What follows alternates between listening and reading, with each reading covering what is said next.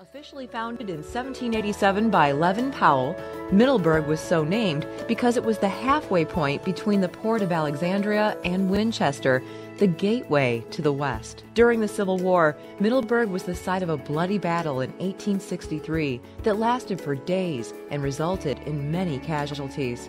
It was also from this sleepy but strategically located town that Confederate Colonel John S. Mosby, known as the Gray Ghost for his ability to evade capture, executed his famous guerrilla style attack. By the end of the 19th century, Middleburg had become a culturally diverse town with a strong African American community driving a thriving economy and a proliferation of programs and events that help build unity among its residents.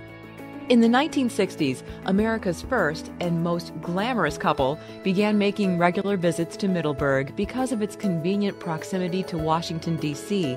President John F. Kennedy and First Lady Jackie Kennedy considered Middleburg their country retreat and first rented a house in the area before subsequently building their own home. Unfortunately, the young president only stayed in it once before his tragic death in 1963.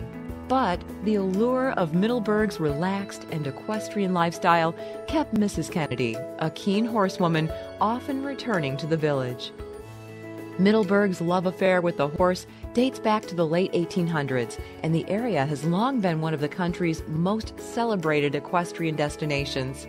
For decades, this attractive equestrian lifestyle has lured many prominent business leaders and celebrities to make this hamlet their permanent residence. And now you can too. It's a less than one hour drive to Middleburg from Washington, D.C., much of which is along a scenic highway lined by stone stacked fences and beautiful vistas. The village may only have one stoplight, but it features over 100 stores, shops, galleries, boutiques, and restaurants. Whether it's a stop for morning coffee, a trip to the farmer's market, or simply running errands, you're likely to bump into residents wearing riding boots and jeans, offering handshakes and waves. There are a plethora of social gatherings related to, but not confined to, the equestrian lifestyle, including the highly popular Twilight Polo Series held at Great Meadow Showgrounds, which also hosts the Gold Cup races in the spring and fall. And despite its modest size, Middleburg is home to the acclaimed National Sporting Library, which draws visitors from all over the world. But the region has become renowned for more than horses. It's now famed for clinking glasses and picnic baskets. Standing on the cusp of viticultural greatness, Virginia recently ranked in the top 10 wine destinations in the world by readers of Travel and Leisure.